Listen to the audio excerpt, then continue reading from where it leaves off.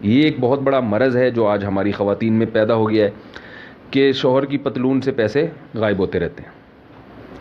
بٹوا وہ آیا، وہ تو بیچارہ گنتا نہیں ہے، روزانہ تھوڑی گنے گا۔ وہ کہیں سوتے ہوئے میں اس نے اپنا پرس رکھا، سو کا نوٹ غائب ہے وہاں سے، دو سو کا روپے غائب ہے ہزار روپے غائب ہے وہاں سے۔ اور بعض تو پوری پوری جائیدادیں پی جاتی ہیں۔ مکان اپنے نام کروایا اور وہ جائیداد کھا گئی بھی یہ تو میرا مکان ہے، وہ شوہر نے محبت میں نام کر دیا تھا۔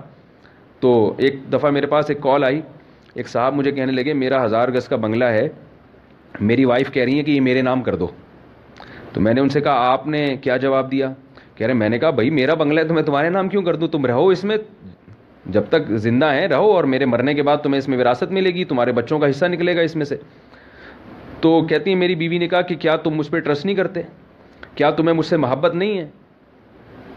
تو کہتے ہیں کہ میں یہ باتیں سن کے پھر خاموش ہو گیا۔ میں نے کہا، یار، یہ تو اب میں نہیں کروں گا تو اس کا محبت نہیں ہے۔ تو مفتی صاحب، آپ مشورہ دیں، میں کیا کروں؟ میں نے کہا، اپنی بیگم سے کہو کہ وہ جو آپ کی فلاں چیز ہے نا، سونا، گولڈ، وہ میرے نام کر دو۔ اور اگر وہ کہ میں کیوں کر دوں؟ تو بولے کیا تمہیں مجھ سے محبت نہیں ہے۔ تو یہ محبت کا کون سا اصول اور ضابطہ ہے؟ میں نے کہا، آپ جس سے محبت کا اظہار کرتے ہیں، تو اس کو ہدیہ دیتے ہیں، اس سے لیتے نہیں ہیں۔ تو آپ اپنی وائف سے کہیں کہ، بیگم، تم مجھ سے محبت کا اظہار پہلے کرو اور جتنی چیزیں تمہارے پاس ہیں، ساری مجھے دے دو تم۔ یہ جیسے ایسے ہی ہو گیا جیسے کوئی آئے میرے پاس مولوی صاحب سے گلے ملنے کے لیے یا آپ کے پاس کوئی آئے گلے ملے اور کہ مجھے آپ سے بہت زیادہ محبت ہے، آپ اپنا یہ موبائل مجھے دے دیں۔ تو آپ کہو گے، بھائی، محبت ہے تو تو مجھے ہدیہ دے، مجھ سے کیوں مانگ رہا ہے؟ تو یہ عجیب عجیب چیزیں تو شوہر کے مال میں خیانت کرنا بہت بڑا جرم ہے۔ عورت شوہر کے مال کی محافظ ہے۔ دو طرح سے حفاظت کرنی ہے آپ کو شوہر کے مال کی۔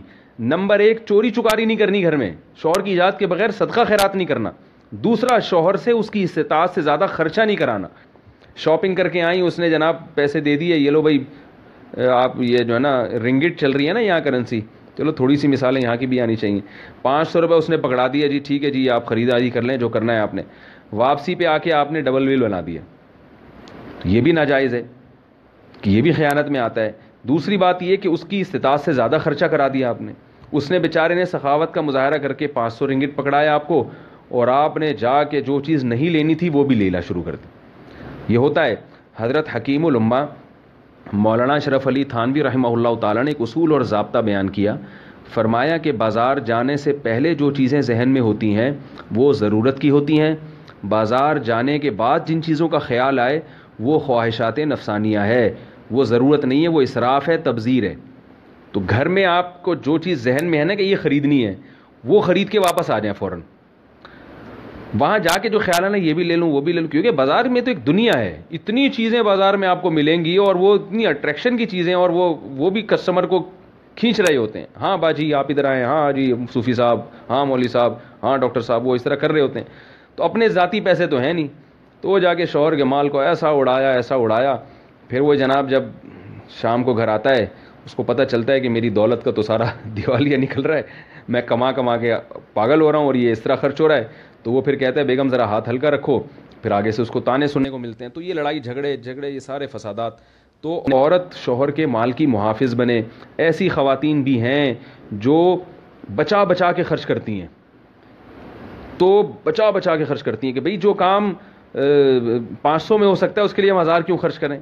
ان کو پتہ ہوتی ہے شوہر کے پیسے ہیں، وہ بیچارہ کما کما کے بھیج رہا ہے، وہ خان سامہ بنا ہوا ہے یعنی اتنا ادھموا کر دیا اس کو کما کما کے، اس سے کموا کے ادھوا کر دیا اس کو، تو اب ہمیں بھی ہماری بھی ذمہ داری ہے۔ تو عورت کی بہت بڑی ذمہ داری ہے کہ وہ اپنے شوہر کا مال زیادہ خرچ نہ کرائے۔ شوہر کو اللہ نے حکم دیا کہ تم دل کھول کے خرچ کرو۔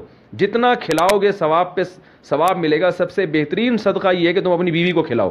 اتنا اللہ نے اس کو حکم دیا کہ تم فیاضی کا معاملہ کرو، لیکن عورت کو حکم دیا کہ تم نہیں خرچہ کرنے دو۔ معاملہ الٹا ہو رہا ہے، مرد اپنا ہاتھ کھینچ رہا ہے، دوستوں پہ اڑائے گا، بیوی بچوں پہ نہیں اڑائے گا، اور عورت اس کی جیبیں نچوڑنے کی کوشش میں لگی ہوئی ہے۔ تو جھگڑے ہوتے ہیں، طلاقیں ہوتی ہیں۔ تو اس لیے خواتین کی ذمہ داری ہے کہ اپنے شوہر کے مال کی حفاظت کریں۔